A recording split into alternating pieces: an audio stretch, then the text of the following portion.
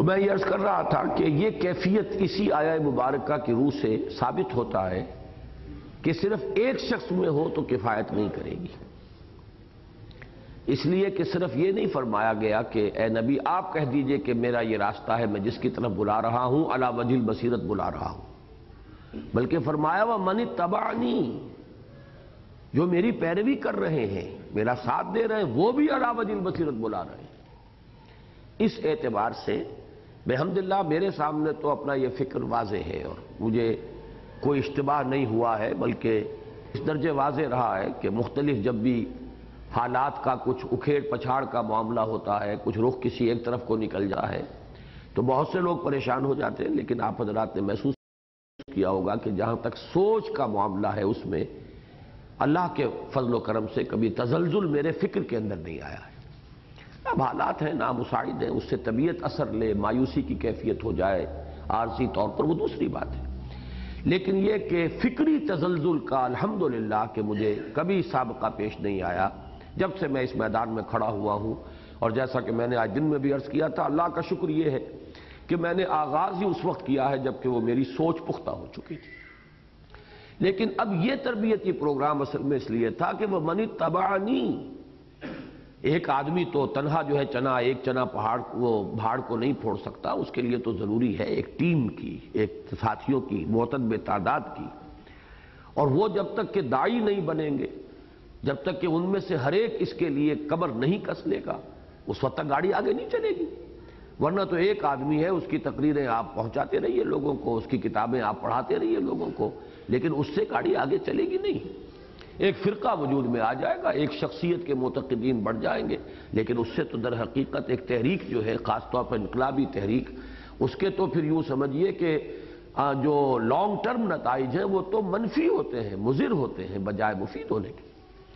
تو در حقیقت کوشش جو تھی وہ یہی کہ یہ وہ منی تبانی کی ایک معتب تعداد جو ہے، وہ فکر کے اعتبار سے بالکل یکسو ہو اس کے سامنے یہ باتیں کھل کر آ جائیں، بات واضح ہو جائے انشراح صدر ہو جائے، اور اس کے ساتھ پھر وہ میرا ساتھ بھی دے۔ اور خود اپنی اپنی جگہ پر ان میں سے ہر ایک جو ہے، وہ اس دعوت کو لے کر کھڑا ہو اور دائی بنے۔ اس کے ذمن میں جو دوسری بات میں عرض کر رہا ہوں وہ یہ ہے کہ یہ اندازہ آپ حضرات کو ہوا ہوگا اس دوران میں کہ بحمد اللہ ہمارے پاس اب تحریروں اور لٹریچر کی بھی کمی نہیں۔ ہوا صرف یہ ہے کہ اب تک ہماری اس تحریر تحریک میں چونکہ سارا معاملہ درس، تدریس، تقریر، خطبہ، کیسٹ اس کے ساتھ چلا ہے، لہذا ادھر دھیان ہی نہیں ہوا۔ اکثر ساتھی پڑھتے ہی نہیں۔ نہ مطبوعات پڑھتے ہیں، نہ یہ ماہانہ رسالے پڑھتے ہیں، نہ وہ پرانی کتابیں پڑھتے ہیں، نہ نئی تحریریں پڑھتے ہیں۔ تو یہ چیز جو ہے، یہ بہت کمی کا اس وقت ہمارے لیے سبب بنی ہوئی ہے اور اس میں قدم جو ہے رکے ہوئے ہیں۔ ہماری تحریک کے بحثیت مجموعی۔ لیکن یہ کہ ایسا نہیں ہے کہ ہمارے پاس تحریری مواد موجود نہ ہو۔ تحریری مواد ہے، وہ مدلل ہے۔ یہ صحیح ہے کہ وہ اس طرح کی آسان زبان میں نہیں ہے۔ جس طرح کی آسان زبان میں بعض دوسرے اہل قلم کو اللہ نے صلاحیت دی اور انہوں نے بہت سلیس زبان میں چیزوں کو لکھا اور عام کیا۔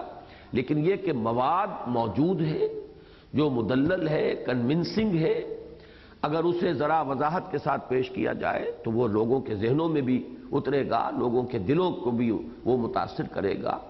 تو ایک تاثر جو ہے جو اس کے ساتھ آپ کو لے کر اٹھنا چاہیے وہ یہ ہے، اور یہ تو ظاہر بات ہے کہ ابھی وہ چھ کتابیں جن کے بارے میں میں نے کہا تھا کہ وہ پہلے آپ پڑھ کر آئیں۔ ان کا تو ہم نے تذکرہ کیا ہی نہیں ہے۔ تحریک جماعت اسلامی سرف گندیم، پھر یہ کہ استحکام پاکستان، اس مسئلہ سندھ سیاسی جو بھی تجزیے اس کے اندر موجود ہیں یہ تمام چیزیں جو ہیں، ان کا، اور اس کے علاوہ؟ جی؟ منحج انقلاب نبی اللہ کے فضل و کرم سے بڑی ایک یعنی جامع اور چیز موجود ہے، اور وہ سلیس زبان میں بھی ہے، اس کے اندر وضاحت بھی ہے، اور چھٹی کیا ہے؟ اسلام اور پاکستان اچھا یہ، کیونکہ یہ پہلے مطبوعہ نہیں تھی، اب تو خیر آ گئی ہے۔ تو اب یہ اسلام اور پاکستان ہے، یہ پھر اب آ رہی ہے۔ دعوت رجوع القرآن کا منظر اور پس منظر، یہ دو کتابیں جو ہیں، یہ بہت اہم ہے۔ پھر بیست نبوی کا مقصد جو ہے وہ بہت اہم کتاب ہے۔ تو ہمارے پاس اب لٹریچر کا بھی اور تحریری جو مواد ہے دعوت کا، اس کی کمی نہیں ہے۔ البتہ اب پہلی بات اسی لیے میں نے وہ آیات پڑھی کہ پہلے تو اپنی عادت کو اب بدلیے اگر اس تحریک کو آگے چلانا ہے۔ وہ اقرا بسم رب الذی خلق خلق الانسان من علق۔ اب پڑھنے کی عادت خود ڈالیں۔ یہ جو ہمارا مزاج بنا ہے، اس میں شعوری طور پر کچھ تھوڑی سی تبدیلی کی ضرورت ہے۔ ہر ساتھی اپنے جگہ پر مطالعے کی عادت ڈالے، پڑھے، سمجھے، غور کرے۔ مشکل نظر آئے تو پھر یہ ہے کہ اس میں ذرا زیادہ اگر ذہن کو لگانا پڑتا ہے تو مشقت جھیلے۔ پھر اب یہ چیزیں ہیں، کم سے کم ان کتابوں کے ضمن میں یہ کیسٹس موجود ہوں گے، یہ ویڈیو کیسٹس موجود ہوں گے۔ ان سے مدد لے۔ تو اب پڑھنے پڑھانے کی ایک مہم جو ہے، ہمیں اس ان چیزوں کی بھی اپنی شروع کرنی ہوگی۔ جہاں وہ قرآن مجید کا پڑھنا پڑھانا، وہ ہمارا اس تحریک کا جو بیسس جو ہے، وہ تو وہی ہے، اساس وہی ہے، اسی کو چلنا ہے۔ اس میں کوئی کمی نہیں آنے دینی ہے۔ لیکن یہ ہے کہ اس کے ساتھ اپنے اس فکر کا پڑھنا پڑھانا اور ان کتابوں کے اندر بھی وہی، اس کے سمن میں، اسی انداز کے اندر کہ ہر شخص پڑھے بھی اور پڑھائے بھی اور اس کو ایک مہم کی شکل جو ہے کچھ عرصے کے لیے دینی ہوگی تاکہ جو کمی رہ گئی ہے ہمارے خاص مزاج کی وجہ سے اس کمی کی ہم پہلے تلافی کر سکیں، پھر یہ گاڑی جو ہے وہ آگے چلے گی۔ اور اس میں میں، مجھے یاد آئے ہیں، مولانا احمد علی رحمۃ اللہ علیہ کے الفاظ کہ وہ کہا کرتے تھے، اب اس کو ذرا پکاؤ۔ ایک آیت پڑھاتے تھے، کہتے اب اس کو پکاؤ۔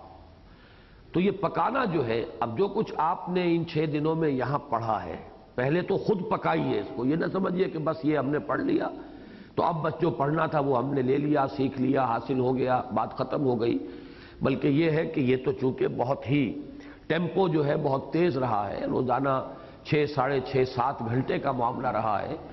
تو اس کو وقتی طور پر بات سمجھ میں آ گئی، لیکن اس کو ذہن میں ریٹین کرنا چیو کرنا ہضم کرنا، اس کے ابھی آپ کو خود اس پر کافی محنت مزید لگانی ہوگی۔ تو پہلا مرحلہ تو ہوگا کہ اس مواد کو آپ خود پکائیں۔ اور پھر یہ ہے کہ اس کے لیے اس کو آگے اب پھیلانے کا اور اس کو پڑھوانے کا اور لوگوں تک پہنچانے کا، اس کے لیے ایک عزم مصمم کر لیں، کمر کس لیں اور اس کو ایک مہم کی شکل میں کچھ عرصے کے لیے، تاکہ جیسا کہ میں نے عرض کیا ہے، پچھلی کمی کی کسی درجے میں تلافی ہو جائے۔ اس کے ضمن میں میں ایک بات عرض کر رہا ہوں، بات کو سمجھانے کے لیے۔ ہر رفیق تنظیم کو اپنی جگہ پر، اب مکتبہ تنظیم اسلامی یا جو بھی ہمارا ادارہ اشاعتی ہے، اس کا ایجنٹ بن جانا چاہیے۔ یہ میں کیوں کہہ رہا ہوں؟ اس کو اچھی طرح سمجھ لیجیے کتابیں آپ کے پاس ہوں؟ ہر شخص ایک دم کچھ رقم انویسٹ کرے اور وہ کتابیں اپنے پاس رکھے۔ وہ کتابیں دیتا رہے، لوگوں کو دے بیچے۔ اس کو وہ، جس کو پوری قیمت پر دے سکتا ہے، پوری قیمت پر دے۔ جس کو آدھی قیمت پر دے سکتا ہے، آدھی پر دے۔ جس کو دے کر پھر واپس لے سکتا ہے، اسے واپس لے۔ لیکن یہ ہے کہ اس کے لیے ہر شخص اپنے آپ کو سمجھ لے کہ وہ مکتبے کا ایجنٹ ہے اپنی انڈیویجول پوزیشن میں۔ یہ میں اس کو ایمفیسائز کرنے کے لیے کہہ رہا ہوں کہ یہ حیثیت ہر ساتھی کو اختیار کرنی چاہیے۔ اس کو بالکل مبالغہ کے اوپر محمول نہ کیجیے جماعت اسلامی کے اس ابتدائی دور میں پری پارٹیشن جو دور تھا، اس میں ہر رکن جماعت ایجنٹ ہوتا تھا۔ ہر ایک جو ہے اس کے پاس پرچے آ رہے ہیں ترجمان کے اور وہ ان کو بیچ رہا ہے، پھیلا رہا ہے، پہنچا رہا ہے۔ اور بہت سے حضرات تو تھے جو بوریوں کی، بوریاں کتابوں کی بھر کر جو ہے وہ لے لاتے تھے اور پھر وہ اپنے اپنے علاقے میں پھیلاتے تھے۔ اب ظاہر بات ہے کہ جس کو آپ کنوینس کریں گے کتاب خریدنے پر آمادہ کریں گے، وہ پڑھے گا۔ اور آپ کی یہ محنت جو ہے، وہ آپ کی اس دعوت کی توسیع کا ذریعہ بنے گا کسی کو آپ پوری قیمت پر بھی دیں گے، کسی کو آپ کم پر دیں گے، کسی کو نصف پر دیں گے۔ لیکن جو بھی کچھ پیسہ بھی لگائے گا، اس پر وہ یقیناً اسے پڑھے گا۔ اس لیے کہ اس کا اپنا پیسہ اس پر لگ چکا ہوگا۔ مفت پڑھنے کے لیے دینا یا ویسے ہی دینا، اس سے میرے نزدیک زیادہ مؤثر ہوتا ہے اس طریقے سے لوگوں تک پہنچانا کہ اس پر ان کا بھی کچھ نہ کچھ پیسہ خرچ ہوا ہو۔ تب وہ اس کو پڑھتے ہیں، اس کی ایک اہمیت ان کے ذہن میں ہوتی ہے۔ یہ بات جو اس وقت میں کہہ رہا ہوں کہ ہر شخص، ہر رفیق تنظیم، بالخصوص جو منتظم رفقا ہیں، پھر ان میں سے بھی اخص الخصوص کا معاملہ ہو جائے گا جو نقیب ہیں عمرا ہیں، ذمہ دار حضرات ہیں۔ کہ وہ اس طریقے سے اب اپنا عمل شروع کرے کہ گویا کہ وہ مکتبے کا ایجنٹ ہے اس کی دو وجوہات ہیں جس کے تحت میں آپ حضرات سے یہ بات آج خاص طور پر کہہ رہا ہوں۔ پہلی بات تو یہ ہے کہ اس وقت میرا خیال ہے یہ معاملہ رہنے دو بھائی، کوئی ضرورت نہیں اس تاثر کے دینے کی۔ بس میری طرف رکھو اس کو۔ توجہ سب کی ہٹتی ہے اس سے۔ پہلی تو بات یہ ہے کہ آج کل جو سیاسی حالات ملک کے ہیں اور جو فضا ہے، اس کی وجہ سے جو انجمن کو تعاون حاصل ہوتا تھا، اس میں کمی آئی ہے۔ میں تو اس سے بھی زیادہ تلخ حالات کے لیے ذہنن بہت پہلے سے تیار ہوں۔ اتنے حالات تو اللہ کے فضل و کرم سے ابھی نہیں ہوئے۔ کچھ نہ کچھ بہتری کی شکل بھی نظر آ رہی ہے۔ اللہ تعالیٰ وہ بہتر کر دے۔ جیسے کہ صدر صاحب کا بیان بھی آج آیا ہے، بڑا ہی تیری آواز مکے اور مدینے، میرے تو دل سے وہ آواز نکلی ان کہا کہ معاملات سدھر رہے ہیں، مفاہمت ہو رہی ہے، معاملات بہتر ہو جائیں گے، گھبرائیں نہیں۔ تو اللہ کرے کہ ایسا ہو۔ لیکن یہ کہ بہرحال میں تو اس سے بہت زیادہ تلخ صورتحال کے لیے ذہن تیار تھا۔ وہ آپ کے علم میں ہے۔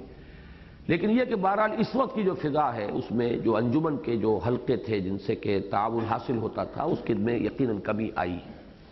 یہی وجہ ہے کہ ہم نے قرآن کالج وغیرہ کی تعمیر کا کام بھی جو ہے اس کا ہاسٹل کا، اس کو روک دیا ہے درمیان میں۔ اب جتنا بھی کام اس وقت ہو رہا ہے، وہ چلتا رہے۔ باقی یہ کہ کوئی بڑے منصوبے جو ہیں، وہ ہم اب شروع کرنے کی پوزیشن میں نہیں۔ اس کا اثر مکتبے پر بھی پڑ رہا ہے۔ مکتبہ انجمن جو ہے وہ اس وقت کافی ایک فنانشل کرائسس میں ہے۔ ایک تو ہماری کافی رقم جو ہے وہ بلاک ہو گئی ہے کہ یہ ویڈیوز وغیرہ جو تیار ہو رہے ہیں، اب ان کے ماسٹرز ہمارے پاس ایک بڑی تعداد میں رکھے گئے۔ وہ ایک ایک ویڈیو جو ہے ڈھائی سو، تین سو روپے کا ہے تو رقم بلاک ہو رہی ہے۔ دس ویڈیو تو اس پروگرام کے تیار ہوئے ہیں ابھی۔ اب اسی طریقے سے ہماری کچھ کتابیں اب ہم نے شائع کرنی شروع کی ہیں۔ جو اعلیٰ ایڈیشن ہیں اس لیے کہ جو اعلیٰ شو رومز ہیں کتابوں کے، وہ یہ چھوٹے ہلکے کتابیں نہیں رکھتے۔ اور وہ طبقہ جو ہے، ایک ہمارے ہاں ایسا ہے جو انہی شو رومز میں جا کے کتابیں خریدتا ہے۔ وہ آگے سٹالوں وغیرہ پہ ادھر ادھر سے وہ لیتا بھی نہیں۔ تو اس کے لیے ہمیں قیمتیں زیادہ رکھنی پڑی ہیں اور زیادہ خرچ کرنا پڑا ہے۔ تو اس سے بھی ہماری رقم بہت بلاک ہوئی ہے۔ اس وقت کافی ہمیں اس میں دقت ہے۔ اس پہلو سے تنظیم کے لوگوں کو اب اس کے اندر ہمت کرنی چاہیے۔ اور میں تو یہ چاہوں گا کہ ہمارا ہر ساتھی یہاں روانہ ہونے سے پہلے جو بھی اس کی استطاعت ہو، اس کے مطابق کچھ کتابیں مکتبے سے خرید کر کر لے کر جائے۔ اور وہ یوں سمجھ لے کہ میں ایک مستقل ایجنٹ ہوں کہ یہاں سے مجھے کتابیں اب جو بھی اس کے اندر وہ رقم لگا سکتا ہے، لگائے اور وہ ایک سرکل کے اندر وہ چلتی رہے اور اس کے بعد وہ کتابیں منگوائیں اور لوگوں تک پہنچائیں۔ یہ گویا کہ ایک دو طرفہ عمل ہو جائے گا۔ ایک تو یہ کہ ہماری دعوت ان کے ذریعے سے پھیلے گی، پہنچے گی۔ اور وہ بات جو ہے مدلل طریقے پر تحریر کی تحریری شکل میں اور پرنٹڈ ورڈ کی صورت میں سامنے آئے گی۔ اور دوسرے یہ کہ اس سے ہمارا جو مکتبے کا سرکولیشن ہے، اس کا معاملہ جو ہے وہ بھی تیزی پر ہوگا اور اس کو بھی سہولت حاصل ہوگی۔ مزید اس میں ایک نقطہ میں اور ایڈ کر رہا ہوں کہ آج صبح خاص طور پر سورہ حدید کا جب ہم ترجمہ صرف ہو سکتا تھا اتنے وقت میں اور درس کا تو امکان نہیں تھا، تو نوٹ کیا ہوگا آپ نے کہ سب سے زیادہ زور لفظ انفاق پر آیا ہے۔ اول تو پہلے ہی آمنوا باللہ و رسول وانفقوا مما جعلکم مستخلفین فی۔ اس صورت میں جہاد کی بجائے بھی لفظ انفاق آیا ہے۔ آگے چل کر بات واضح ہو گئی کہ انفاق مال کا بھی، انفاق جان کا بھی۔ اس لیے کہ قتال کا لفظ بھی آ گیا۔ لیکن لفظ بنیادی طور پر انفاق کا آیا۔ ہے اور اس سے بھی اہم یہ ہے کہ اگر کوئی شخص یہ محسوس کرے کہ اس کے دل میں سختی آ گئی ہے، کوئی جمود آ گیا ہے، کوئی کام کے لیے اب طبیعت اس طرح آمادہ نہیں ہو رہی ہے طبیعت کے اندر کچھ پشمردگی ہے، تو وہ جو فرمایا، اے لمو اللہ لردہ بادہ موتحا جان لو، اللہ تعالیٰ زمین کو اس کے مردہ ہونے کے بعد زندہ کر دیتا ہے، تو تمہارے قلوب کی زمین کے اندر بھی دوبارہ ایک حیات تازہ پیدا کر دے گا۔ مایوس نہ ہو۔ اللہ تعالیٰ مردہ زمین کو زندہ کرتا ہے، تمہارے دلوں کے اندر بھی اثر نو، حرارت ایمانی اور جذبہ انفاق اور جذبہ جہاد پیدا کر دے گا، لیکن اس کے لیے ایک کام خود بھی کرنا ہوگا۔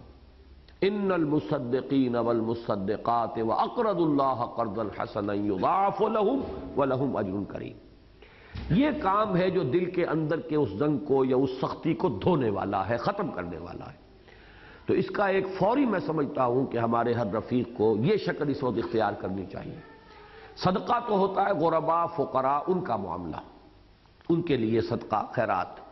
لیکن یہ کہ یہ جو قرض حسنہ ہے، یہ اللہ کو قرض دینا، یہ اللہ کے دین کے لیے جو خرچ کیا جائے، تو اس میں ہر رفیق اپنی اپنی حیثیت کے مطابق۔ اور اس کو آپ لوگ معین کریں اس حوالے سے کہ اگر اچانک کوئی آپ کے اوپر کوئی خرچہ آ جائے، تو کہیں سے قرض بھی آدمی لیتا ہے، اگرچہ اپنی حیثیت کے مطابق لیتا ہے، دیکھتا ہے کہ میں چار چھ مہینے میں یہ رقم اتار لوں گا، لے لیتا ہے۔ اسی طریقے سے اس طرح کے معاملے کرنے کے اندر ہمیں اس نحج پر بھی سوچنا چاہیے۔ کوئی اچانک بیماری بھی آ سکتی ہے، خدا نہ خواستہ کوئی اور مصیبت آ سکتی ہے، اس کے لیے آدمی قرض تک لیتا ہے۔ تو میں یہ سمجھتا ہوں کہ اس تربیت کی ہمارے پروگرام کے بعد جو ہمارے سامنے لٹریچر کی اہمیت آئی ہے اور اس کے ساتھ جو ایک ذہنی ربط قائم ہوا ہے، اس کے فوراً ساتھ یہ بات اگر ہو جائے اور اس وقت اس کے سٹارٹنگ پوائنٹ کے لیے ہر رفیق کچھ نہ کچھ انفاق کرے۔ وہ کتابیں لے ظاہر بات ہے، وہ جو بھی ہے، تینتیس پرسنٹ ہے یا کوئی جو ان کا بھی نظام ہے، وہ عبدالرزاق صاحب موجود ہیں، وہ بتائیں گے۔ لیکن یہ کہ کوشش کیجیے کہ ہر شخص اس کے اندر کچھ نہ کچھ انفاق کرے، لگائے اور پھر اس کو مسلسل سرکولیشن کے اندر رکھے۔ یہ اس کی ایک طرح کی دعوتی سرگرمی بھی ہو جائے گی اور یہاں پر بھی ہمیں جو اس وقت ایک دقت محسوس ہو رہی ہے، اس کے ازالے میں اس سے مدد ملے گی۔ اور اکثر حضرات کوشش کریں کہ اس میں کوئی بلک اچھا جو ہے شروع ہی سے ڈالیں تاکہ پھر وہ سرکولیشن کے اندر بھی ایک بڑی جو بات ہے اس صورت کے اندر چل سکے۔ ان میں سے بالخصوص یہ جو اب جنوری اور فروری کا حکمت قرآن آیا ہے، اس کو آپ حضرات، چونکہ یہ ہماری دعوت، آپ نے دیکھا کہ دو بالکل پیرلل چیزیں ہیں یہ۔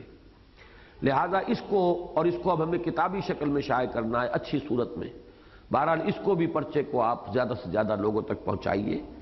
میساک دسمبر نواسی اور جنوری نوے کا۔ یہ میری خواہش یہ ہے کہ اب آپ جو بھی طبیعت کے اندر خامخواہ کی جھجک پیدا ہو گئی ہے، اس کو نکالیے اور پورے جذبہ خلوص کے ساتھ، جذبہ نسخ کے ساتھ، لوگوں کی نصیحت اور خیرخواہی کے ساتھ اور خود اعتمادی کے ساتھ ان کو پہنچائیے اب جماعت کے حلقوں کے اندر تاکہ ان کی آنکھیں کھلیں کہ اصل بات کیا ہے انہوں نے نہ معلوم کیا کچھ سکھا پڑھا رکھا ہے کہ کیا ہوا تھا؟ کیوں چھوڑ گئے؟ ڈر کے بھاگ گئے، ہمتیں جواب دے گئیں، یا کسی وجہ سے اور یہ لوگ جماعت کو چھوڑ گئے تھے؟ حقائق سامنے آنے چاہیے کہ مسئلہ یہ تھا۔ اور یہ کہ ظاہر بات ہے کہ اگر آپ دس آدمیوں تک پہنچیں گے، تو ہو سکتا ہے دو تین میں جیسے کہ بعض رفقا نے کہا کوئی منفی کیفیت پیدا ہو، تو ہو سکتا ہے کہ دو تین کے اندر اس سے ان کی آنکھیں کھل جائیں، حقائق ان کے سامنے آ جائیں۔ آخر انسان ہے اور وہ اس سے لا علم ہے۔ نہ ہم نے وہ چیزیں ان کے سامنے رکھی ہیں اور ظاہر بات ہے کہ انہوں نے تو اس کے بعد جماعت نے تو اپنی رودادیں شائع کرنا بند کر دیا کہ یہ ساری چیزیں آنا جائیں۔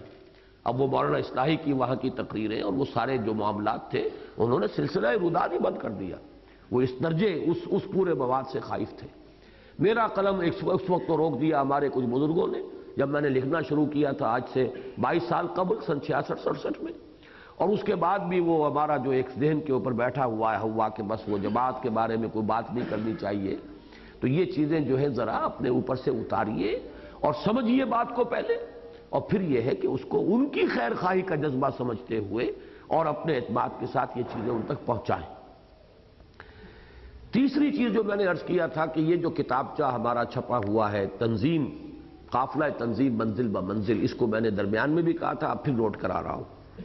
کہ ہر نقیب اس کو سمجھ لے کہ اس کی ذمہ داری ہے کہ اسے یہ اپنے اسرے کے ہر رفیق تک لازمن پہنچانی ہے اور اسے کہنا ہے، پھر اس کو اسائن کرنا ہے کہ پڑھے اس کو، تاکہ تنظیم کا یہ پورا پس منظر جو ہے وہ اس کے سامنے آ جائے۔ وہ کبھی ہم نے شرائط شمولیت کے نام سے جو چیز رکھی تھی، وہ بہت ہی ایجوکیٹو چیز ہے، عقائد کیا ہے کیا چیزیں ماننا لازم ہے؟ لا الہ الا اللہ کا کیا لازمی نتیجہ ہے؟ محمد الرسول اللہ پر یقین رکھنے کے کیا لوازم ہیں؟ کیا نتائج ہیں؟ تو یہ چھوٹی سی چیز ہے اور اس کے لیے میں خاص طور پر آپ حضرات مکتبے والے نوٹ کر لیں کہ وہ ففٹی پرسنٹ پر یہ کتابچہ دے دیا جائے تاکہ یہ زیادہ سے زیادہ تعداد میں ہمارے رفقا لے جائیں اور اس کو اپنے ہر رفیق تک پہنچائیں۔ اس کے ساتھ ہی انفرادی دعوت کی سطح پر ابھی کچھ عرصہ ہوا ہے کہ ہمارا ذہن جو ہے متوجہ ہوا، ہمارے ایک رفیق نے توجہ دلائی کہ ایک فیصلہ ہوا تھا شورا کا اور اس پر ابھی تک کوئی عمل نہیں ہو سکا تنظیم پاکستان میں۔ حالانکہ وہ شورا کا فیصلہ تھا جو پہنچایا بھی گیا ہے۔ اور بدقسمتی یہ ہے کہ لاہور میں بھی ہم عمل نہیں کر سکے۔ وہ ایک پروگرام جو دیا گیا تھا، اس کو اب ہم نے لاہور کا بھی اجتماع ہوا تھا ماہانہ اس میں تو ہم نے طے کیا ہے کہ اگلے دو مہینے اس پر خصوصی توجہ کرنی ہو کیوں نہیں سکا لاہور میں یا دوسری جگہوں پر بھی؟ اس کا سبب یہ ہے کہ کچھ ہمارے ایسے پروگرام بنے، کچھ مظاہروں کے، اور چونکہ پہلی مرتبہ کر رہے تھے تو اس پہ محنتیں بہت لگیں، تیاری بہت ہوئی، اس پہ سوچنا بہت پڑا، اس کے لیے اہتمام بہت کرنے پڑے۔ تو ان کے لیے پے بپے یہاں، پھر پنڈی میں کچھ اور جگہوں پر، تو وہ دوسرا پروگرام جو ہے، بات ظاہر بات ہے کہ ایک چیز سامنے آ جاتی ہے ذہن کے، تو دوسری چیز جو ہے وہ پس منظر میں چلی جاتی ہے، اس کی وجہ سے وہ ہو نہیں پائی۔ اس کا بھی اس تربیت گاہ سے آپ میں سے ہر شخص ایک عزم مسمم کر کے اٹھے کہ وہ کام ان دو مہینوں میں اسے ضرور کرنا وہ کام کیا ہے؟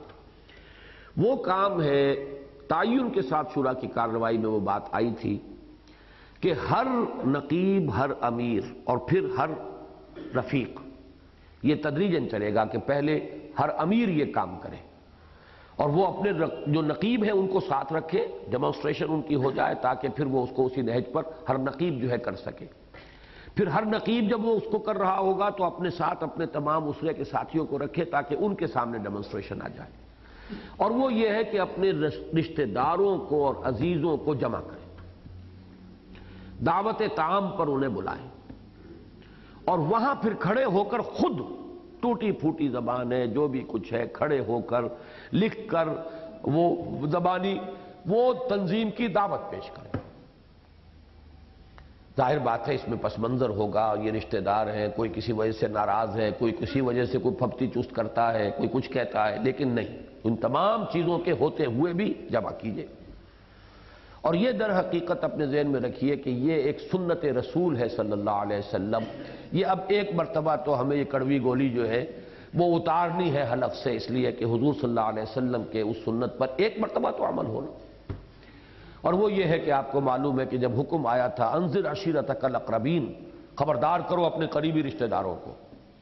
تو حضور نے حضرت علی کو حکم دیا، انہوں نے اہتمام کیا، دعوت تعام کا اور تمام بنو ہاشم کو جمع کر لیا۔ اب حضور کھڑے ہوئے دعوت دینے کے لیے، اپنی بات رکھنے کے لیے، تو وہ لوگوں نے شور مچا دیا، چلے گئے سنا ہی نہیں۔ گویا کہ پہلی اٹمپٹ حضور کی ناکام ہوئی۔ دنیا بھی اعتبار سے۔ نتیجہ کوئی نہیں نکلا۔ اس کے بعد کچھ دن کا پھر بیچ دے کر حضور نے پھر اس کا اہتمام کیا۔ اب ظاہر بات ہے کہ دو مرتبہ کھانا کھا لیا تھا لوگوں نے تو کوئی شرم آ گئی آخر۔ آدمی کو شرم آئی جاتی ہے تو لوگ بیٹھے رہے۔ حضور نے پھر جب دعوت اپنی پیش کی تو لوگوں کو جیسے سانپ سوکھ جاتا، کوئی کچھ بولا نہیں۔ سوائے حضرت علی کے وہ کھڑے ہوئے اور انہوں نے یہ کہا کہ اگرچہ میں سب سے چھوٹا ہوں اور اگرچہ میری ٹانگیں پتلی ہیں اور اگرچہ میری آنکھیں دکھتی ہیں آشوب چشم کا معلوم ہوتا ہے ٹرکوما جو ہے ککرے کا برس غالباً حضرت علی کو تھا بچپن سے ہی۔ تو اس وقت بھی وہ آنکھیں دکھ رہی تھیں۔ اگرچہ میری آنکھیں دکھتی ہیں، لیکن میں آپ کا ساتھ دوں گا تو پورا مجمع جو ہے کھل کھلا کر ہنس پڑا کہ یہ چلے ہیں دنیا کی تقدیر بدلنے اور یہ ہے ان کے ساتھی۔ گویا کہ اب اس ایک سبق سے، ایک واقعے سے کتنے سبق ہمیں ملے۔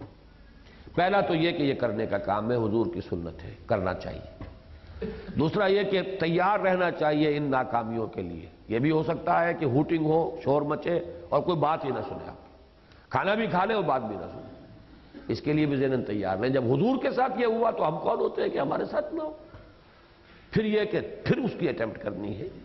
اور ہو سکتا ہے کہ کوئی ایک بھی بات نہ مانے، اس لیے کہ حضرت علی بھی وہ تو پہلے سے حضور کے اپنے تھے اور پہلے سے ایمان لا چکے تھے۔ وہ کوئی اس کوشش کے نتیجے میں کوئی نہیں ملا آدمی آپ کو۔ لیکن آپ نہیں کہہ سکتے کس کے دل میں بات جا کر بیج کے طور پر پڑ گئی ہو اور کس وقت وہ پھر وہ بیج پھوٹا ہو اور اس کے نتائج نکلے ہو یہ آپ نہیں جانتے۔ اس لیے کہ کلمہ طیبہ کی مثال جو فرمائی گئی ہے، مثل و کلمت طیبت کشجرت طیبت اسلحہ ثابت و فروحا فی السما وہ تو یہ ہے کہ پھر اس کلمہ طیبہ سے درخت نکلتا ہے اور پھر وہ وہ باغ و بہار ہوتا ہے اور اس کی جڑ جمی ہوتی ہے اور جو جو شاخیں ہیں آسمان سے باتیں کرتے ہیں۔ تو کچھ پتہ نہیں ہوتا انکیوبیشن پیریڈ بھی ہوتا ہے اور مختلف چیزیں، وہ میڈیکل اصطلاحات بھی ہیں۔ تو اس سے نہیں ہونا چاہیے بد دل کہ کوئی نتیجہ نہیں نکلا، فوری طور پر لوگ آئے نہیں، تنظیم میں شامل نہیں ہوئے۔ لیکن نہیں، آپ کو اب اس کے لیے ذرا نفسیاتی طور پر بھی کمر کسنی ہوگی۔ اس لیے کہ قریبی لوگوں ہی کے سامنے بات کرنی مشکل ہوتی ہے۔ دور جا کر تو بات کرنی بڑی آسان ہے۔ آپ کی کمزوریوں سے وہ واقف، آپ کی کوتاہیوں پر وہ متنبع انہیں معلوم ہے، انہیں تنبع حاصل ہے۔ وہی تو کھڑے ہو کر بات کرنی مشکل ہے۔ دور جا کر تو ظاہر بات ہے، لوگ سمجھتے ہیں کہ شاید آسمان سے فرشتہ نازل ہوا ہے۔ لیکن یہ کہ جو قریب کے لوگ ہیں، ان میں آپ کھڑے ہو اپنی جو بھی غلطیاں ہیں، ان کو بھی آپ تسلیم کرنے کے لیے آبادہ رہیں۔ لیکن یہ ہے کہ اس کام کو اب ایک مہم کی صورت میں ان دو تین مہینوں میں کہ جو ابھی ہمارے پاس ہے، سالانہ اجتماع سے پہلے ڈھائی مہینے تو ہیں ہی بہرحال، ان کے اندر اس کو درجہ بدرجہ تکمیل پا جانا چاہیے کہ ایک امیر جو ہے مقامی پہلے وہ کرے اور اپنے جو نقبا ہیں انہیں ساتھ رکھے، اپنے رشتہ داروں، عزیزوں کو اصل میں خطاب تو ان سے، لیکن انہیں بھی رکھے ساتھ، تاکہ وہ دیکھ لیں۔ اور اس کے بعد یہ کہ ہر نقیب اسی طرح کرے، اپنے اسرے کے رفقا کو ساتھ لے کے پھر ہر رفیق جو ہے اس کی کوشش کرے۔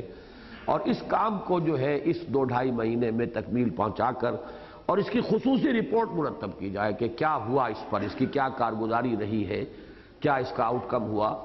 آؤٹ کم سے بھی اتنی دلچسپی نہیں ہے جتنا یہ کہ اس پر عمل درآمد جو ہے وہ ہو۔ اللہ کرے کہ ہمیں اس کی توفیق حاصل ہو جائے۔ آخر میں اب میں آپ حضرات سے استدا کر رہا ہوں اس بات کی کہ آپ میرے لیے خصوصی دعا کریں۔ پہلی دعا تو جس کی میں چاہتا ہوں کہ اس وقت آپ سے استدا کر رہا ہوں، وہ یہ ہے کہ تحریر کے کچھ کام بہت ہی، جیسے کہ میں نے کہا تھا، میرے قلم پر بہت سے قرض ہیں۔ اللہ تعالیٰ ہی توفیق دے اور اس کے لیے وہ قلم کی گرا کھلے تو بات چلے۔ کئی چیزیں ہیں کہ جو مجھے اب فوری طور پر کرنی ہے اگرچہ اس مہینے میں بھی اور کچھ پچھلے مہینے میں بھی میں نے کام کیا ہے۔ یہ مقدمہ بھی لکھا ہے جو یہ دعوت رجوع القرآن کا دیباچہ بنا ہے۔ پھر میں نے یہ تذکرہ تبصرہ لکھا ہے۔ پھر یہ جو دو پرچے آئے ہیں، آپ نے تو خیر ان کو دیکھ لیا بس۔ اور یہ کہ ان کے لیے چند روپے نکالتے ہوئے بھی کافی کراہت محسوس کی ہے۔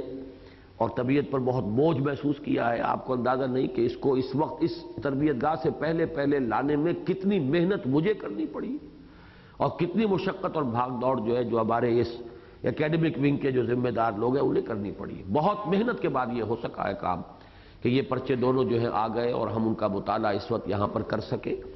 تو اس پر بڑی محنت لگتی ہے، یہ ایسے ہی نہیں ہو جاتا۔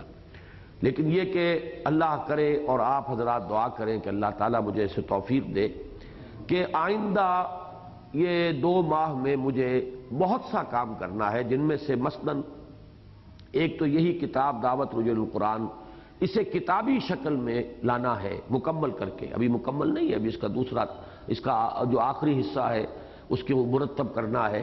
میں یہ چاہتا ہوں کہ یہ ایک کتاب مکمل تیار ہو جائے جو ہماری یہ جو دعوت کا حصہ ہے، دعوت قرآنی اور رجوع القرآن اور یہ انجمن اور قرآن کالج اور اکیڈمی، اس کا یہ مکمل ایک جو سمجھیے کہ ایک کتاب کے اندر وہ پوری بات اپنے پس منظر کے ساتھ سغرا کبرا کے ساتھ، اپنے فلسفے کے ساتھ اور پھر کن مراحل سے ہو کر یہ بات گزری ہے اور اب ہم کہاں کھڑے ہیں اور کیا ہماری اب تک کی کارگزاری، سب آ جائے۔ اس لیے کہ اس سال کے جو محاضرات قرآنی کا پروگرام ہے میرا، اللہ تعالیٰ پورا کرائے، وہ یہ ہے کہ وہ اسی موضوع پر ہوں گے۔ اور ہم مختلف جو ہیں اس ملک کے، جو بھی ہم سے بھی کچھ حسن در رکھتے ہیں یا دلچسپی رکھتے ہیں، اصحاب دانش، علماء، ان سے ہم درخواست کریں گے کہ وہ انہی موضوعات پر مقالے لکھیں۔ یہی کہ قرآن مجید اصل میں کیا اس کی اہمیت تھی؟ رفتہ رفتہ وہ تدریجن پس منظر میں گیا تو کیوں گیا؟ پھر کس طریقے سے اس کی طرف رجوع ہوا ہے؟ کہاں ہم کھڑے ہیں؟ مکاتب فکر کون کون سے ہیں؟ یہ جو بھی موضوعات ہیں اس کے، ان کے اوپر وہ مقالات لکھیں۔ تو اللہ کرے کہ یہ میری خواہش پوری ہو جائے۔ تو ایک تو اس پر بھی ابھی مجھے کافی محنت کرنی ہے۔ دوسرے، میں نے وعدہ کیا ہے کہ نقض غزل کی تکمیل کرنی ہے اور یہ بھی کام اپنی جگہ پر، یہ کافی محنت طلب ہے۔ اس لیے کہ یہ چیزیں تو وہ تھی کہ جو چھپی ہوئی تھی اب تو ان پر صرف یہ کہ ان کو دوبارہ کمپوز کرایا ہے تو اس کی پروف ریڈنگ کی ہے، کچھ عنوانات لگائے ہیں، باقی مواد تو سارا وہی تھا۔ لیکن اب جو ہے اس میں تھوڑا مواد ہمارے پاس اس وقت کا لکھا ہوا ہے ماچی گوٹ کے بارے میں، باقی جو ہے کچھ حافظے سے، کچھ ادھر ادھر کی معلومات سے مجھے اسے مرتب کرنا ہے۔ لیکن میری خواہش یہ ہے کہ اس پرچے میں جو نیکسٹ آئے گا، اس میں اس کی تکمیل ہو جائے۔ اسی لیے میں نے کہا ہے کہ یہ دسمبر، جنوری، فروری کے پرچوں کو خاص طور پر آپ جماعت اسلامی کے حلقوں تک تو لازمن پہنچائیں۔ جو بھی ان میں فہیم لوگ ہیں، سمجھدار ہیں، سنجیدہ ہیں، ان کے سامنے پہنچائیں ان تک تاکہ آپ کی طرف سے جو ہے وہ ایک بات ہو جائے۔ باقی جو نتیجہ نکلتا ہے وہ اللہ کے ہاتھ میں ہے، یا وہ ان کی اپنی جو بھی ذہنی کیفیت ہے، اس کا اس میں عمل دخل ہوگا۔ اور آخری اور اہم ترین کام وہ یہ ہے کہ اس تنظیم کا ہم نے لایا عمل یا نظام العمل پہلے جب ابھی بیعت کا فیصلہ نہیں کیا تھا، تب تو کچھ بنایا ہوا بھی تھا۔ اس کے بعد کے فیصلے سکیٹرڈ ہیں جو کہ مختلف جگہوں پر شوراؤں کی رودادوں میں ہیں۔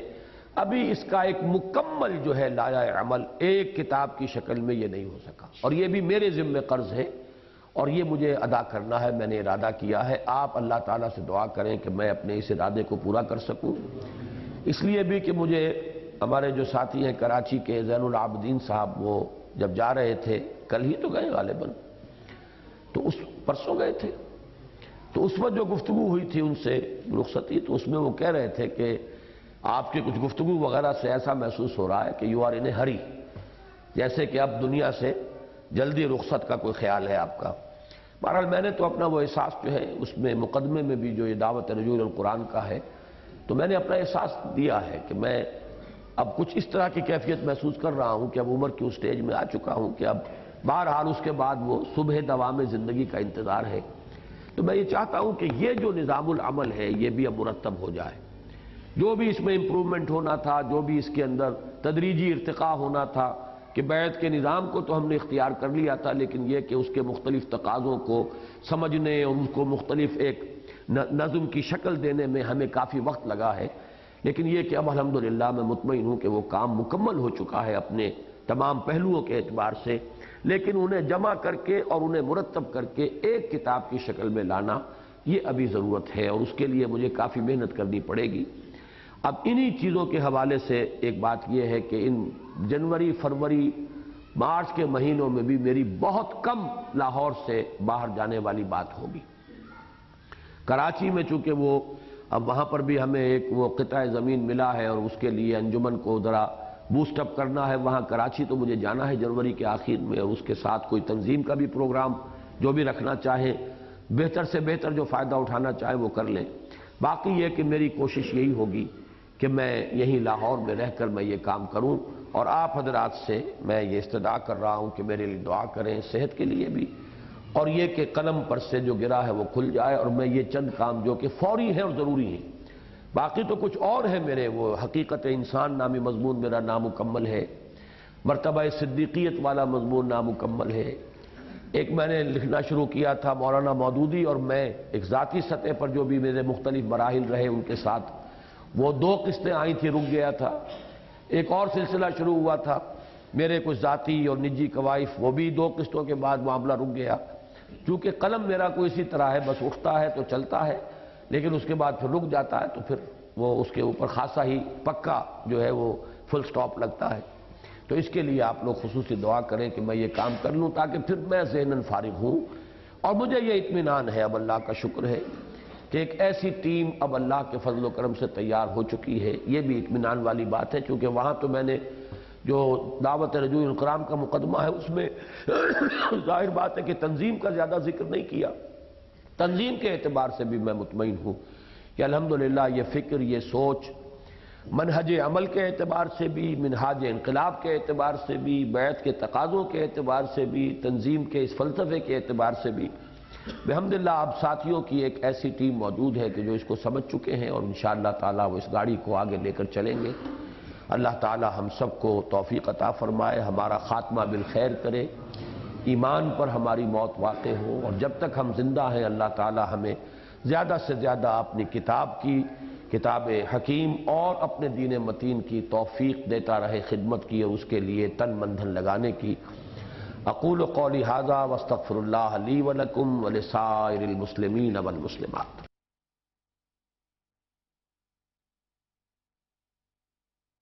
لغت دین کا اساسی بالکل وہی ہے جس میں لفظ اساس القرآن یعنی سورہ فاتحہ میں استعمال ہوا ہے. یعنی بدلہ یا جزا و سزا. یعنی مالک یوم الدین بدلے کے دن کا مالک یا جزا و سزا کے دن کا مالک. اس لیے کہ بدلہ لامحالہ نیکی کا جزا کی صورت میں ہوتا ہے اور بدی کا سزا کی صورت میں۔ تو بدلہ یا جزا و سزا ایک ہی معنی ہے۔ چنانچہ قرآن حکیم کی ابتدائی دور میں نازل ہونے والی متعدد صورتوں میں یہ لفظ بغیر کسی اضافی یا توصیفی ترکیب کے اپنی سادہ اور مفرد صورت میں بدلے اور جزا و سزا ہی کے لیے استعمال ہوا ہے۔ جیسے صورت المعون کی آیت نمبر ایک ارایت الزی یکذب بالدین فضالک الذی یدعو اب یہاں دین جو ہے، یہ مرکب اضافی یا مرکب توصیفی کی شکل میں نہیں، یہ مفرد ہے۔ جو جزا و سزا کو جھٹلاتا ہے، تم نے غور کیا اس شخص کے حال پر۔ اور سورت التین کی آیت نمبر سات میں، فما یکذب کا باد و بدین تو کیا چیز ہے جو تمہیں آمادہ کرتی ہے؟ اس کے باوجود یا اس کے بعد جزا و سزا کو جھٹلانے پر؟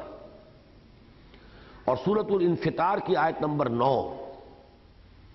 کلّا بل تکذبون بالدین و ان علیکم لحافظین کرامن کاتبین۔ تو یہ دین وہاں پر مفرد شکل میں آیا ہے۔ اور سورت الفاتحہ کے علاوہ بارہ مقامات پر لفظ یوم کی اضافت کے اضافت کے ساتھ قیامت کے معنی میں آیا ہے، جو بدلے یعنی جزا و صدا کے فیصلے کا دن ہے۔ یوم الدین جزا و صدا کے فیصلے کا دن۔ بارہ مرتبہ آیا۔ یہاں چاہے تو عربی کی کہاوت، کما تدین و تدانو جیسا کرو گے ویسا بھرو گے کما تدین و تدانو جیسا کرو گے ویسا بھرو گے اور ہماسا کے مشہور مصرے کے الفاظ دن ہم کما دانو، جو انہوں نے ہمارے ساتھ کیا تھا، وہی ہم نے ان کے ساتھ کر لیا۔ ہمیں بدلہ دے دیا ان کو، جیسا کہ انہوں نے معاملہ ہمارے ساتھ کیا تھا۔ ہم نے ان کے ساتھ وہی کچھ کیا جو انہوں نے ہمارے ساتھ کیا تھا۔ کہ علاوہ اس حقیقت کو بھی ذہن میں مستحضر کر لیں کہ عربی زبان میں قرض کو دین کہا جاتا ہے۔ اس لیے کہ ہدیہ یا ہبا کے برعکس اس کا بھی لوٹایا جانا مطلوب ہے۔ کسی کو آپ نے ہدیہ دیا ہے تو واپسی کا تو سوال نہیں۔ ہبا کر دیا ہے تب بھی واپسی کا سوال نہیں۔ تو دین وہ شے ہے جو دے کر واپس لینی ہوتی ہے۔ اس لیے اس کو بھی جیسے کہ اعمال کا بدلہ واپس ملتا ہے آدمی کو۔ نیکی کی تو جزا ملے گی، بدی کی سزا ملے گی۔ تو اس لیے دین کا لفظ جو ہے وہ قرض کے لیے ہے۔ جیسے کسی عمل کا بدلہ اس کے فائل کی جانب لوٹتا ہے۔ اس لغوی اساس سے اٹھا کر قرآن حکیم نے جب لفظ دین کو اپنی مخصوص اصطلاح کی صورت دی تو اس میں اولاً اطاعت اور تابے داری کا مفہوم پیدا ہوا، اس لیے کہ بدلے اور جزا و سزا کا تصور لازمن مستلزم ہے کسی قانون اور ضابطے اور اس کی اطاعت یا مخالفت کے تصور کو۔ بدلہ کس چیز کا؟ اگر کوئی قاعدہ نہیں، کوئی ضابطہ نہیں، کوئی قانون نہیں، تو پھر بدلہ کا؟ کوئی قانون ہوگا، کوئی ضابطہ ہوگا، اس کی اطاعت کی جائے، اس کو مانا جائے تو بدلہ ہے۔ خطابات ہیں، جاگیریں ہیں، اعزاز ہے، اکرام ہے مخالفت کی جائے، توڑا جائے تو سزائیں ہیں، جیلیں ہیں پھانسی ہیں۔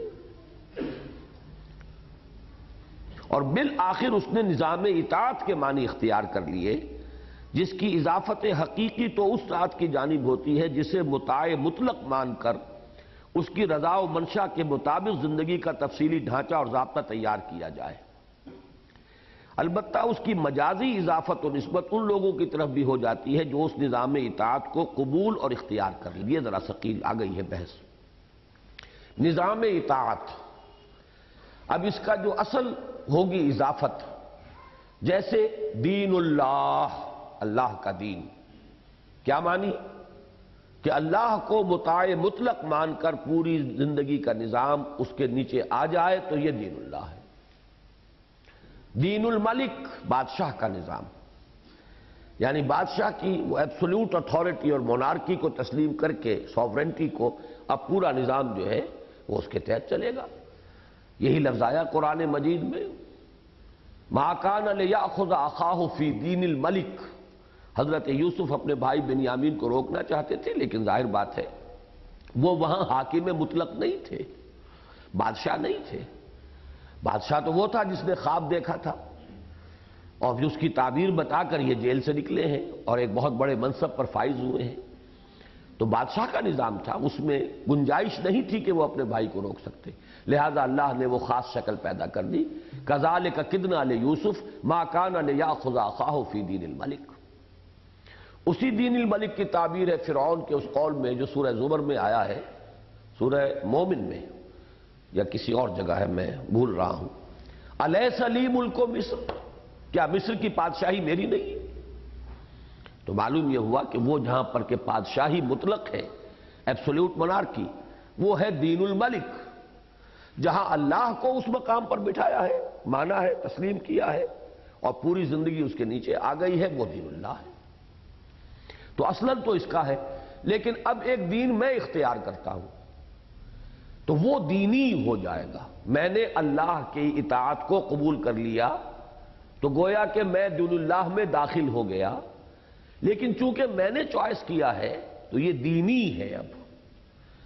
نمبر دو، اس دین کے لانے والے چونکہ محمد ہے صلی اللہ علیہ وسلم تو وہ دین محمد بھی کہلاتا ہے۔ لیکن یہ جو اضافتیں ہوں گی، یہ در حقیقت مجازی ہیں، حقیقی نہیں ہے حقیقی اضافت دین اللہ۔ ورایت الناس يدخلون فی دین اللہ افواجا۔ دین الملک، دین الجمہور، جمہوریت جو ہے وہ دین الجمہور ہے۔ کہ اس میں اختیار مطلق جمہور کے پاس ہے، وہ اپنی، اپنے وہ رائے سے جو نظام، جو قانون چاہے بنا سکتے ہیں۔ چونکہ ان کی ساورنٹی ہے، وہ دین جمہور ہے۔ چنانچہ قرآن حکیم میں دس مقامات پر دین کو اللہ کے لیے خالص کر لینے کا ذکر۔ مخلصین اللہ الدین۔ اس کے لیے دین کو خالص کرتے ہوئے۔ اور یہاں ظاہر ہے کہ دین کے معنی اطاعت کے سوا اور کوئی لیے ہی نہیں جا سکتے۔ مخلصین اللہ الدین اپنی اطاعت کو اس کے لیے خالص کرتے ہوئے۔ اسی طرح دین کی اضافت مجازی کی مثالیں تو ہیں دینی اور دین و کم اور دین و ہم یعنی میرا دین یا تمہارا دین یا اس کا دین یا ان کا دین اور حقیقی اضافت کی مثالیں ہیں دین الملک سورہ یوسف آیت نمبر چھہتر۔ یعنی بادشاہ کا دین یا نظام شاہی اور دین اللہ صورت نصر، آیت نمبر دو یعنی اللہ کا دین یا نظام اطاعت خداوندی یعنی اسلام۔ اسی پر قیاس کرتے ہوئے عہد حاضر کے مقبول ترین نظام حکومت یعنی جمہوریت کو قرآن اصطلاح میں تعبیر کیا جا سکتا ہے دین الجمہور سے۔ اس پر میری زیادہ تفصیلی بحث ہے مقصد بیست نبوی۔ نبی اکم صلی اللہ علیہ وسلم کا مقصد بیست اور انقلاب اسلامی کا اساسی منہاج۔ اس میں میں نے چونکہ چوبیس صفحے پر مشتمل ایک مضمون جو ہے صرف اس آیا مبارکہ پر لکھا ہے۔ هو الذي ارسل رسوله بالهدى ودين الحق ليظهره على الدين كله لہذا اس کے ایک ایک لفظ پر میں نے جتنی بھی بحث ممکن تھی، جس لیے کہ لوگ اس میں سے چور دروازے نکالتے ہیں۔ یہ تو اللہ غالب کرتا ہے۔ رسول تھوڑا ہی غالب کرنے والے ہیں۔ میں نے وہ سارے چور دروازے جو ہیں وہاں پر ایک ایک کر کے اس کی پوری تشریح کر دی ہے اور میں دعوے سے کہہ سکتا ہوں، کوئی شخص اس کی کسی بات کو رد نہیں کر سکتا۔ کہ جتنے بھی امکانات ہوں ان ضمائر کے، اس ضمیر کو کسی طرف آپ لے جائیں، اللہ تعالیٰ کا کلام ہے یہ۔ اور یہ اس کے اندر یہ استعداد ہے، لا یاتی الباطل من بین یدہ ولا من خلفہ۔ باطل اس پر حملہ آور ہو ہی نہیں سکتا، نہ سامنے سے نہ نہ پیچھے سے۔ وہ اپنی پوری حفاظت کرتا ہے، اپنا تحفظ کرتا ہے، اپنے مفہوم کی پوری پوری جو ہے نگہداشت کرتا ہے۔ لہذا کتنے ہی آپ اس کے اندر امکانات کو لے آئیں کہ ضمیر کا مرجع ادھر نہیں، ادھر ہے فائلی ضمیر ادھر جائے گی، لیکن سب کا نتیجہ ایک ہے۔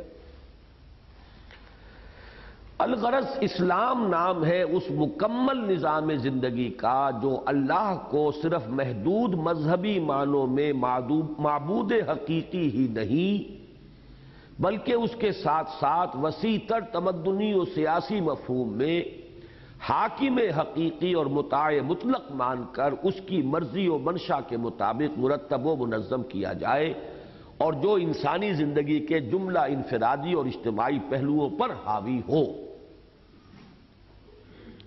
پھر پڑھیے اس کو، ایک ایک لفظ کو۔ الغرض اسلام نام ہے اس مکمل نظام زندگی کا جو اللہ کو صرف محدود مذہبی معنوں میں معبود حقیقی ہی نہیں، معبود حقیقی ہے، مذہب کے پہلو کی نفی نہیں ہے، وہی مطلوب ہے، وہی مقصود ہے، وہی محبوب ہے، لا مقصود الا اللہ، لا مطلوب الا اللہ، لا محبوب الا اللہ۔ نماز اسی کے لیے پڑھنی ہے عقیم الصلاۃ علیہ ذکری اور خرچ اسی کے لیے کرنا ہے، اسی کی رضا جوئی کے لیے مال صرف کرنا ہے۔ اور پھر روزہ رکھنا ہے تو پورا کرنا ہے۔ اسی کے لیے حج ہے تو عطم الحج حج والعمرہ للہ۔ حج کو اور عمرے کو مکمل کرو اللہ کے لیے، یہ سب کچھ اللہ کے لیے۔ ان نسلاتی و نسخی و محیا و مماتی اللہ رب العالمین۔ تو جہاں تک مذہبی تصور ہے، اس کی نفی نہیں ہے، وہ تو اپنی جگہ ہے۔ لیکن اسی پر نہ اکتفا ہو جائے۔ محدود مذہبی معنوں میں معبود حقیقی ہی نہیں، بلکہ اس کے ساتھ ساتھ وسیع تر تمدنی اور سیاسی مفہوم میں حاکم حقیقی اور متاع مطلق مان کر اس کی مرضی و منشا کے مطابق مرتب و منظم کیا جائے اور جو انسانی زندگی کے جملہ انفرادی اور اجتماعی پہلوؤں پر حاوی وہ ہے اسلام۔ ان الدین عند اللہ الاسلام۔ ومن يبتغ غیر الاسلام دینا فلن يقبل منه اب جمع کیجیے اسلامی انقلاب۔ اسلام یہ ہے، انقلاب وہ ہے۔ اب جوڑیں ان دونوں کو۔ بنا بری اسلامی انقلاب کا مفہوم و مطلب یہ ہے کہ کسی ملک یا معاشرے میں اللہ کی حاکمیت کے اصول پر مبنی نظام بالفعل قائم ہو جائے۔ اور پوری قوم یا پورا معاشرہ مجموعی طور پر اللہ کے اقتدار اعلیٰ کو تسلیم کرتے ہوئے اس کے نظام اطاعت کو عملاً قبول کرے۔ نظری طور پر تو قبول کی ہمیں چالیس برس ہو گئے، قرارداد مقاصد لکھ کر بیٹھے ہوئے ہیں۔ وہ تو نظری طور پر ہے، عملاً قبول کر۔ اور جیسے کہ اس سے قبل انقلاب کے مفہوم کی وضاحت کے ضمن میں عرض کیا جا چکا ہے، اس معاملے میں اصل اہمیت اسلام کے نظام اجتماعی کی ہے۔ جب ہم صرف اسلام کہیں گے، تو اس میں تو سارے پہلو آ جائیں گے، انفرادی بھی، اجتماعی بھی، نماز بھی، روزہ بھی۔ جب اسلامی انقلاب کہیں گے تو لفظ انقلاب ہم دیکھ چکے کہ اس کا اطلاق ہوتا ہے نظام اجتماعی کے مختلف پہلوؤں پر۔ اس میں تبدیلی آئے، تب وہ انقلاب ہے۔ لہذا جب ہم نے اسلامی انقلاب جوڑ کر ایک اصطلاح جو ہے، اب ہم اس پر غور کر رہے ہیں، تو جیسے کہ اس سے قبل انقلاب کے مفہوم کی وضاحت کے ضمن میں عرض کیا جا چکا ہے، اس معاملے میں اصل اہمیت اسلام کے نظام اجتماعی کی ہے، نہ کہ افراد کے عقائد و اعمال کی مطلب یہ ہے کہ اگر کسی ملک کے تمام لوگ مسلمان ہو جائیں، لیکن وہاں وہ نظام اجتماعی اسلام کا نہ آئے، تو اسے اسلامی انقلاب نہیں کہا جائے گا۔ جیسے عیسائی سب کے سب پورا قوم، پورا ملک جو ہے، سلطنت عیسائی ہو گئی، وہ انقلاب نہیں تھا۔ اسلامی انقلاب میں جو اہمیت ہوگی، وہ اس نظام اجتماعی کو اسلام کے مطابق بدلنا۔ اس لیے کہ جہاں اخروی نجات و فلاح کے حصول اور افراد کی سیرت و کردار کی تعمیر کے اعتبار سے اہم تر معاملہ عقائد اور عبادات کا ہے، وہاں انقلاب کے نقطہ نظر سے اصل اہمیت اسلام کے نظام عدل اجتماعی اور دین حق کے نظام عدل و قسط کو حاصل ہے۔ یہی وجہ ہے کہ انقلاب محمد علیہ صاحب صلاحت وسلام کی تکمیل پر نظام اسلامی نے ان لوگوں کے لیے تو نہ صرف یہ کہ اپنے اندر گنجائش پیدا کر دی تھی، یہ بہت اہم ہے نقطہ، یہ دلیل بہت مضبوط ہے کہ اسلامی انقلاب کی جب تکمیل ہوئی حضور صلی اللہ علیہ وسلم کے دستے مبارک سے، تو اب نوٹ کیجیے، نظام اسلامی نے ان لوگوں کے لیے تو نہ صرف کہ اپنے اندر گنجائش پیدا کر لی تھی جو اسلام کے عقائد و عبادات کو اختیار نہ کریں۔ یعنی اسلام کو بطور مذہب اختیار نہ کریں بلکہ کسی دوسرے مذہب پر قائم رہیں خواہ یہودی رہیں یا خواہ نصرانی ہو اور خواہ مجوسی رہیں خواہ کچھ اور۔ بلکہ انہیں ایک آئینی و دستوری حیثیت بھی عطا کر دی تھی اور عقائد و عبادات پر مستضاد قانون شخصی پرسنل لا کی حد تک مکمل آزادی بھی دے دی تھی۔ لیکن اسلام کے نظام عدل اجتماعی اور اس کے محافظ و امین یعنی قانون مملکت لا آف دی لینڈ کے ضمن میں کسی قسم کی نرمی یا لچک کو گوارا نہیں کیا تھا۔ یعنی آپ کو معلوم ہے نا کہ دو طبقات کے ساتھ بالآخر حضور کے دور میں دو معاملات مختلف کیے گئے۔ جو امیین تھے، پرانے عرب مشرقین جن میں کہ غالب عنصر جو ہے وہ بنی اسماعیل کا تھا۔ ان کو تو کہا گیا تو یا تو اسلام لاؤ اور یا تمہاری گردن اڑا دی جائے گی۔ سیدھی سیدھی بات۔ تھرڈ آپشن ہی نہیں۔ فیضن سلق الاشہر الحرم فخت المشرقین ہے سو بجت جہاں پاؤ قتل کرو۔ اس کی وجہ کیا ہے؟ چونکہ حضور خود انہی میں سے تھے، لہذا ان پر تو اللہ کی طرف سے آخری درجے میں حجت ہو چکی تھی۔ تو کوئی کنسیشن نہیں۔ جیسے کہ قوم نوح کو ہلاک کر دیا گیا، قوم ہود کو، قوم عاد کو، قوم ثبوت کو، سب کو۔ ایسے ہی یہ قوم محمد تھی صلی اللہ علیہ وسلم۔ حضور اس قوم سے تھے۔ لہذا ان کے لیے کوئی بھی رعایت نہیں تھی۔ وہ تو یا قبول کرے اور یا قتل۔ فرق صرف یہ ہے کہ قوم نوح کو سیلاب سے ختم کر دیا، کسی کو وہ بہت تیز ہوا چلا کے قتل کر دیا، ختم کر دیا، کسی کو زلزلے سے ختم کر دیا۔ اور کسی کے لیے فیصلہ ہوا کہ مسلمانوں تمہاری تلواریں جو ہیں ان کی گردنیں اڑائیں گی لیکن یہود اور نصارہ کو آپشن دیا کہ وہ اگر چاہیں تو رہ سکتے ہیں عیسائی یا یہودی ہو کر، لیکن کرنا کیا پڑے گا؟ یوت الجزیت یدم وہم ساغرون اللہ کا دین غالب رہے گا، انہیں چھوٹے ہو کر رہنا پڑے گا۔ لیکن یہودی اور نصرانی رہ سکتے ہیں، عقائد اپنے رکھیں، عبادت اپنی کریں جو بھی رسومات ہیں پوری کریں، شادی بیاہ اپنے طور پر کریں، تو نتیجہ کیا نکلا؟ کہ اس جو مذہبی عنصر ہے، اس کو تو پھر بھی قبول کر لیا کسی درجے میں۔ دستوری طور پر اسلامی ریاست کے اندر ان کی حیثیت معین ہو گئی۔ لیکن لا آف دی لینڈ اس میں کوئی مصالحت نہیں ہو سکتی۔ اور یہ معاملہ جو قرآن میں آیا، یہود اور نصارہ کے لیے، یہی پھر ہمیشہ رہا ہے۔ جب بھی مسلمان فوجیں باہر گئی ہیں تو انہوں نے تین آپشنز رکھے اصل میں تو یہ کہیے دو ہی آپشن تھے، ایک تو وہی۔ اسلام لے آؤ، ہمارے برابر کے بھائی ہوگے تم اپنی املاک پر، اپنی چیزوں پر قائم رہو گے، تمہارا تمام، ہمارے برابر کے ہو جاؤ گے، کوئی فرق ہی نہیں۔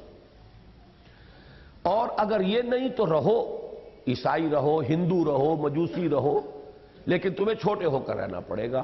مذہب تمہارا جو ہے آزادی، مذہبی آزادی تمہیں حاصل رہے گی، لیکن لا آف دی لینڈ وہ اسلام کا ہوگا۔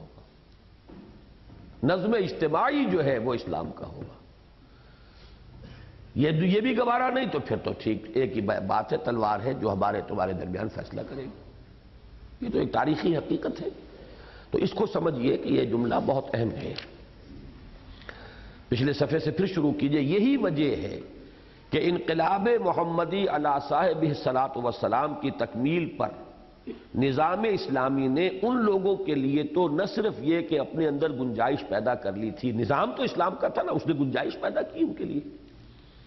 جو اسلام کے عقائد و عبادات کو قبول نہ کریں یعنی اسلام کو بطور مذہب اختیار نہ کریں، بلکہ کسی دوسرے مذہب پر قائم رہیں اور خواہ یہودی رہیں، خواہ نصرانی اور خواہ مجوسی رہیں، خواہ کچھ اور۔ اور بلکہ انہیں ایک آئینی اور دستوری حیثیت بھی عطا کر دی تھی اور عقائد و عبادات پر مستضاد قانون شخصی پرسنل لا کی حد تک مکمل آزادی بھی دے دی تھی۔ لیکن اسلام کے نظام عدل اجتماعی اور اس کے محافظ و امین یعنی قانون مملکت لا آف دی لینڈ کے ضمن میں کسی قسم کی درمی یا لچک کو گوارا نہیں کیا تھا۔ چنانچہ شریعت اسلامی کے فوجداری اور دیوانی قوانین بھی مسلمانوں اور غیر مسلموں سب پر نافذ تھے۔ اور حضرت ابو بکر صدیق رضی اللہ تعالیٰ عنہ کا بیان کردہ یہ بنیادی اصول بھی سب کے حق میں یکساں مؤثر اور رائج تھا کہ تم میں سے ہر ضعیف میرے نزدیک قوی ہوگا جب تک کہ میں اسے اس کا حق نہ دلوا دوں اور ہر طاقتور کمزور ہوگا جب تک کہ اس سے حق وصول نہ کروں اب یہ ہم نے اسلام اور انقلاب، اس کے لفظ، ان دونوں الفاظ کی پوری جو ہے تحقیق کر کے اور پھر ان کو جوڑ کر اور اس کا نتیجہ نکال لیا۔ اب دیکھیے قرآن اصطلاحات کیا ہیں۔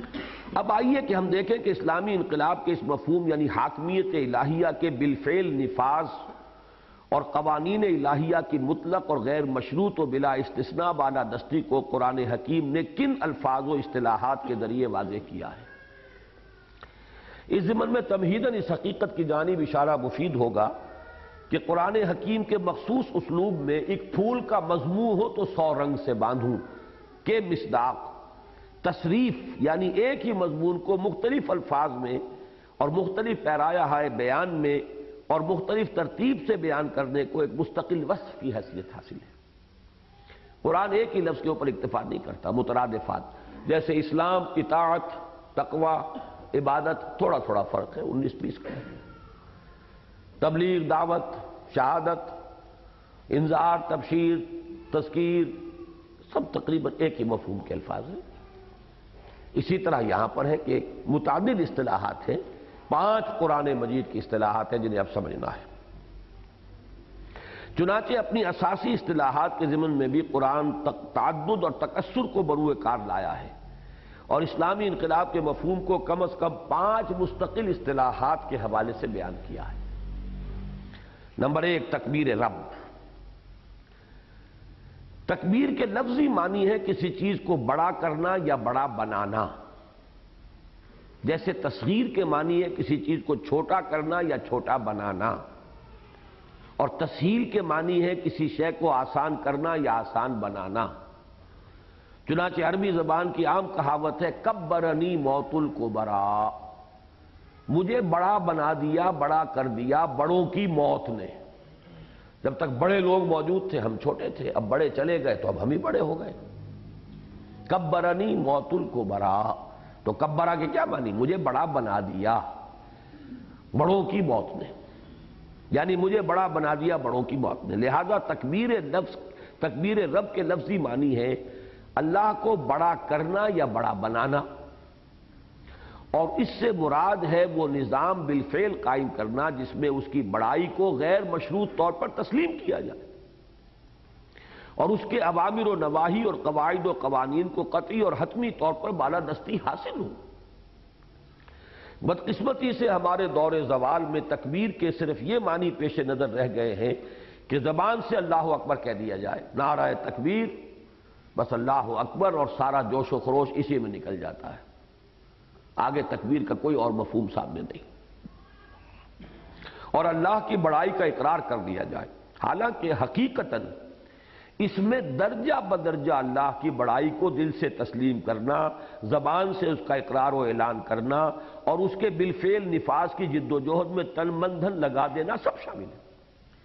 اس لیے کہ دیکھیے تکبیر باب تفریل کا مصدر ہے۔ اور باب تفریل میں اہتمام سے درجہ بدرجہ تھوڑا تھوڑا کر کے جو انزال اور تنزیل میں فرق ہے، جو اعلام اور تعلیم میں فرق ہے، وہی تو اس میں ہوگا، تکبیر۔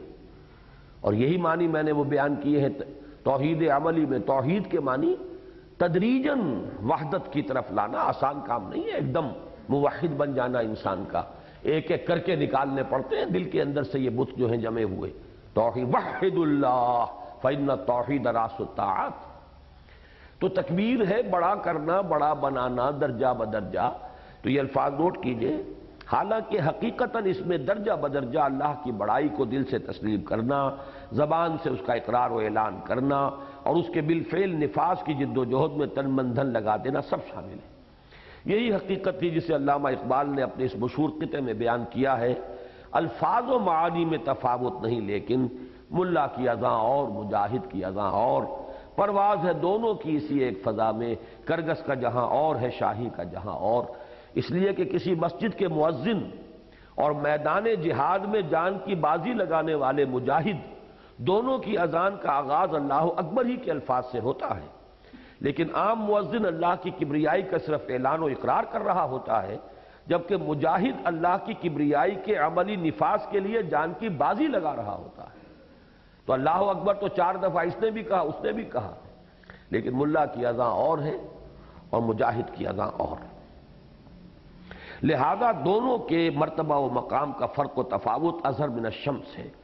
گر حفظ مراتب نہ کنی زندگی۔